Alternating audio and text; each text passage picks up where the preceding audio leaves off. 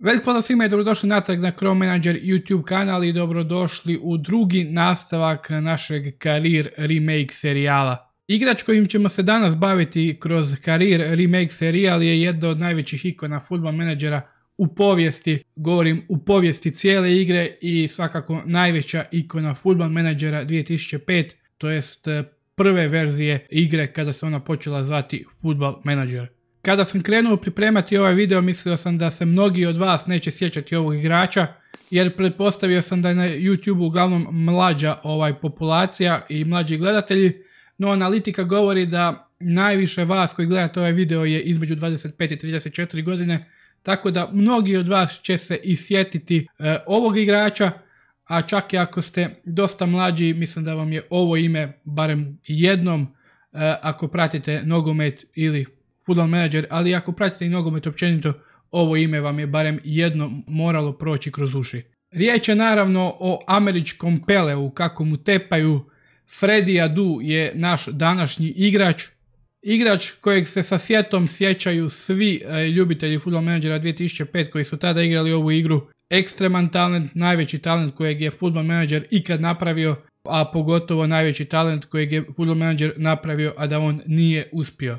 Što reći o njemu, ponikao je u DC Unitedu u Washingtonskom klubu, kao mlad igrač 15-16 godina čak je bio i na probi u Manchester Unitedu, kasnije je potpisao za Benfiku kao najveći klub za koji je ugovorom bio vezan, mislim da je tijekom tog razdoblja bio i na posudbi u, u Monaku, skoro sam rekao Monte Carlo, ali dobro, ista stvar, ali njegova karijera nije krenula željenim putem, Čak je jedne sezone igrao i u Srpskoj ligi za Jagodinu, čini mi se, mnoge avanture po Finskoj i sličnim državama. Bio je i u Grčkoj i u Turskoj, znači nema gdje ga nije bilo, ali nije ispunio svoj, ni izbliza nije ispunio svoj potencijal.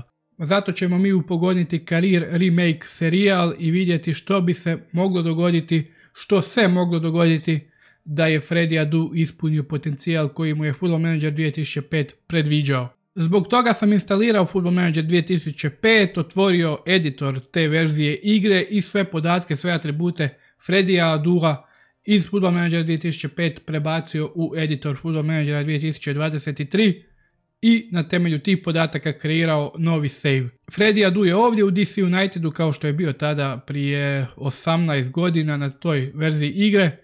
Ima 15 godina na početku sejva Njegovi atributi koje ovdje vidite iz te verzije igre su prebačeni u Football Manager 23 i sada ćemo odsimulirati njegovu karijeru do kraja. Ja neću voditi klubove u kojima će on igrati, znači sve ćemo prepustiti Football Manageru, njegov razvoj, transfere, kako će prelaziti iz jednog kluba u drugi i sve ostalo te kroz neke etape vidjeti kako se on razvijao tijekom ovih svih godina.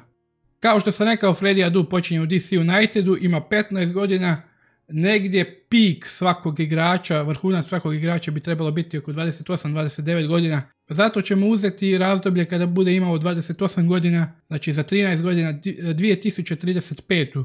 Odsimulirat ćemo do 2035. da vidimo kakav je na svom vrhuncu, ono što bi trebao biti njegov vrhunac, a onda ćemo još odsimulirati koliko je potrebno godina dok se Freddy Adu ne umirovi. A prije nego napravimo simulaciju tih prvih 13 godina, udarite like na ovaj video i pretplatite se na kanal. Analitika kanala kaže da 64% vas koji gleda ovaj video niste pretplaćeni, zato udarite to subscribe dugme i pretplatite se na ovaj kanal, a mi idemo 13 godina u budućnost.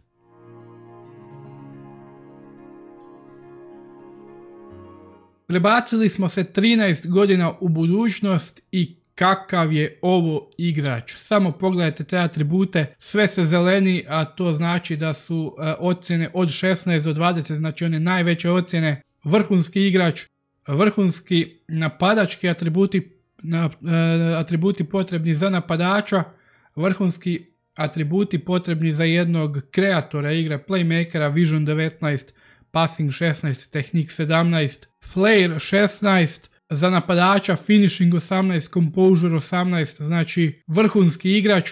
On je e, originalno u igri kako bi trebao biti desetka, nije on čisti napadač, on je desetka ili desno krilo, ali vrhunski igrač baš onakav kakav bi trebao i biti.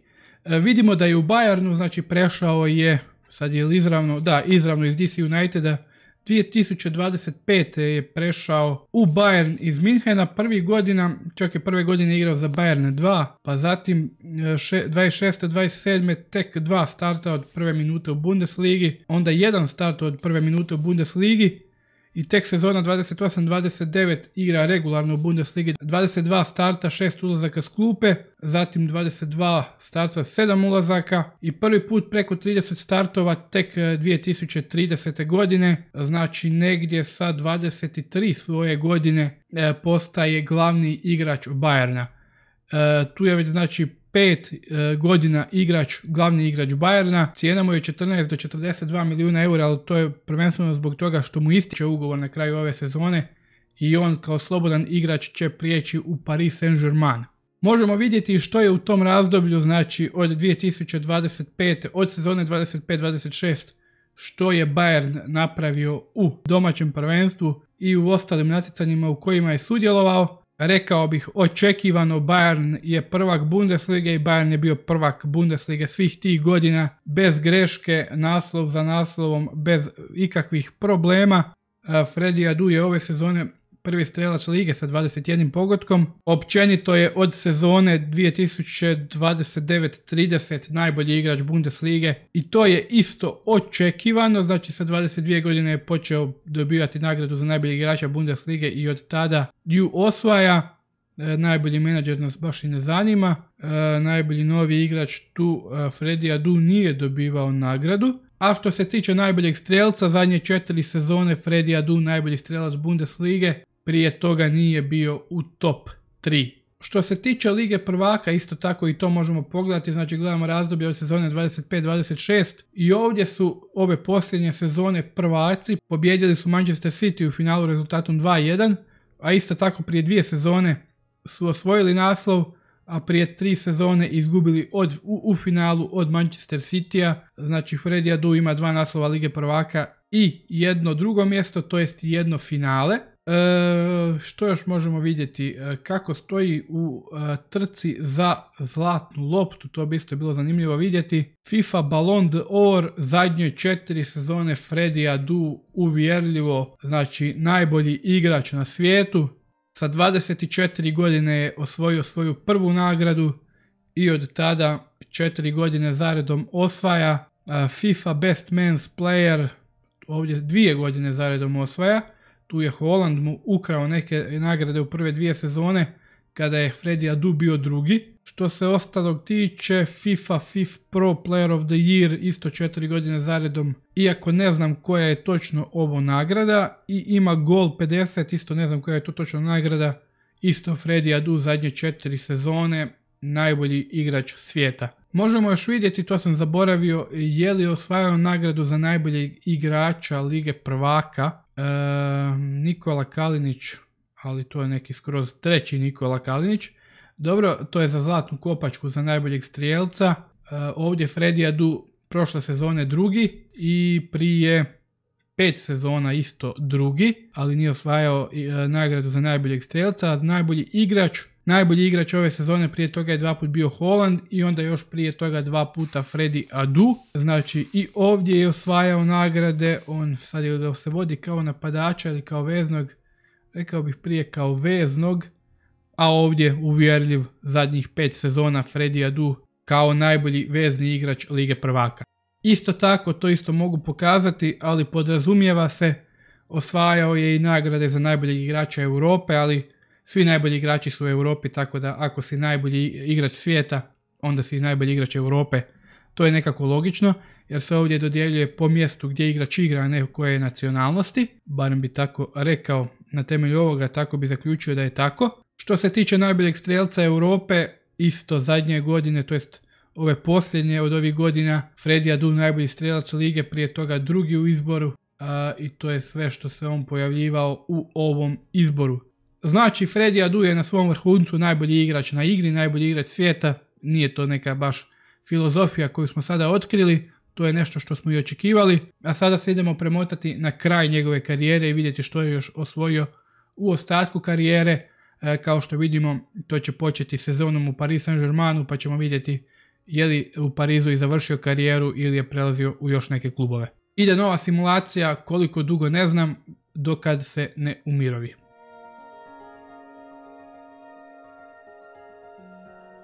A Freddy Adu karijeru završava u Real Madridu. Tako nekako i priliči najveći klub na svijetu i rekao bi po svim nagradama koje je osvojio najveći igrač na svijetu da se nađu zajedno i da tako okončaju jednu veliku karijeru. Ovo je situacija u ljeto 2043. Uh, Freddy Adu je još jednu sezonu odigrao, ali e, kada sam otišao na holiday do ljeta 2044. tada već imam njegov profil kada se umirovio, tako da ne možemo vidjeti njegove atribute na tom profilu, pa možete vidjeti kako Freddy Adu izgleda u dobi od 36 godina. Rekao bih da je komotno mogao odigrati još koju sezonu. E, fizički atributi jesu opali, ali i dalje su vrlo zavid, na vrlo zavidnoj razini. E, o mentalnim atributima ne treba niti govoriti, vrhunski, tehnički također. Ali da, e, ovo je pred njegovu zadnju sezonu, pa ću se ja sada prebaciti u 2044. da vidimo što je sve osvojio, uključujući i tu zadnju sezonu koju je odigrao. Evo nas i na samom kraju karijere Fredija Adua, već vidimo da se prebacio u menadžerske vode, da želi biti menadžer nakon e, završetka igračke karijere, no isto tako po ovim atributima možemo zaključiti da se od e, trenerske karijere baš neće kruha najest, ali ono što smo mi došli vidjeti je što je on sve uspio osvojiti nakon što je otišao iz Bayerna, to jest nakon što smo pogledali e, kakav je bio na vrhuncu svoje karijere. U Paris Saint-Germain je otišao u ljeto 2035. pa ćemo vidjeti što je Paris Saint-Germain u tom razdoblju sve do 2042. osvojio. Pretpostavljamo da su u Francuskoj ligi bili dominantni. Dobro smo pretpostavili naslov za naslovom bez većih problema. E, tu su sve osvojili. Zatim što se tiče Lige prvaka da vidimo u razdoblju 35. do 42. što je radio E, Paris Saint-Germain, ovdje je Bayern osvojio, ali Freddy Adu više nije u Bayernu. E, Paris Saint-Germain u razdoblju kada je Freddy Adu bio tamo ima dva finala Lige prvaka, oba na tlu Španjolske igrali su prvo na Camp Nou, onda na Santiago Bernabeu, ali u oba navrata bolji je bio Manchester City, tako da Freddy Adu u dresu Paris Saint-Germaina nije osvojio niti jedan naslov Lige prvaka, a možemo vidjeti u zadnje dvije sezone da nije osvajao niti u dresu Real Madrida, tako da ova dva trofeja iz Bayerna mu ostaju jedina. Vidimo da je Bayern osvajao i prve sezone nakon što je Freddy Adu otišao iz Minhena. Po pitanju nagrada u Ligi prvaka, Freddy Adu je još osvajao i kao igrač Paris Saint-Germaina četiri puta nagradu za igrača sezone u Ligi prvaka. E, također je, pretpostavljamo, dobro pretpostavljamo, bio i najbolji veznjak Lige prvaka u tom razdoblju. E, kao igrač Real Madrida se baš nije proslavio, no to je već na zalasku njegove karijere. Što se tiče zlatne lopte, Freddy Adu je nastavio osvajati e, onako kako smo i očekivali. Tri puta je osvojio nakon dolaska u Paris Saint-Germain, nakon toga više nikada nije bio u top 3. Znači ukupno osam puta zaredom je Freddy Adu bio najbolji igrač, e, osvajač zlatne lopte. Znači osam puta, koliko Messi sada ima? 7 ili 8? nemam pojma, zaboravio sam taj podatak, ali znači tu je negdje na diobi ovaj, koliko ima i Messi, možda jednu više. FIFA uh, Best Men's Player, također dominacija Fredija Adua, uh, osam puta, iako je tu jednom osvojio i kao igrač Real Madrida. I druge sezone uh, drugi je bio kao igrač Real Madrida, a ovdje je 41. bio drugi kao igrač Paris Saint-Germaina. To je zanimljivo kada je zlatna lopta u pitanju ili je prvi ili ga nema. Ova nagrada FIFIN najbolji igrač tu je čak e, ponekad bio i drugi kada nije osvajao. Ova nagrada također FIF Pro Player of the Year isto Freddy Adu dominacija čak ima jednu nagradu i kad je bio igrač Real Madrida kao što smo vidjeli i kod Fifine nagrade. Sve u svemu karijera Fredija Adua možemo vidjeti sažeto je izgledala ovako. 2025. prelazak iz DC Uniteda u Bayern, tamo, je, tamo se zadržao 10 godina, a onda nakon 7 novih godina u Paris Saint-Germainu zadnje dvije je proveo u Real Madridu. Dva puta je kao slobodan igrač prelazio iz kluba u klub, jedino ga je Bayern platio Amerikancima na početku, kada je imao još koliko, tek 18 godina kada je napunio, prešao je u Bayern. A ovdje možemo vidjeti da to statistički kada su golovi u pitanju i nisu neke fenomenalne sezone, ovih 26 golova u sezoni je najviše što je imao u jednoj sezoni u ligi, sad bi trebalo provjeravati svaku sezonu i vidjeti koliko ima ukupno. Ovdje je imao 39, ali čini mi se da je to isto najviše. 34, da, 39 u jednoj sezoni kada se računaju sva natjecanja, to je najviše što je ikada zabio, što i nije toliko ovaj čudno jer radi se ipak o igraču koji je primarno desetka, desno krilo, a pozicija napadača mu je sekundarna pozicija tako da bi bilo ova, i previše očekivati neke sezone od po 60 i više golova e, za igrača koji igra na poziciji desetke.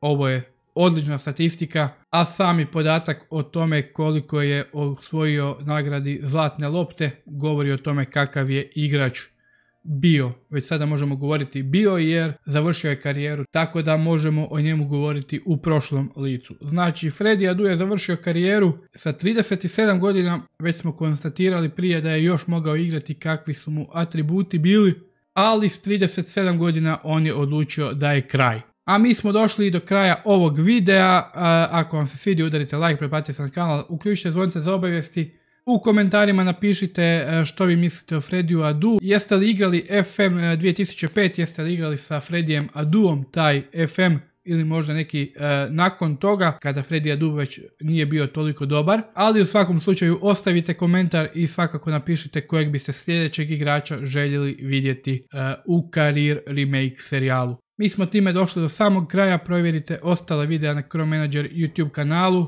Uživajte i lijep pozdrav! Thank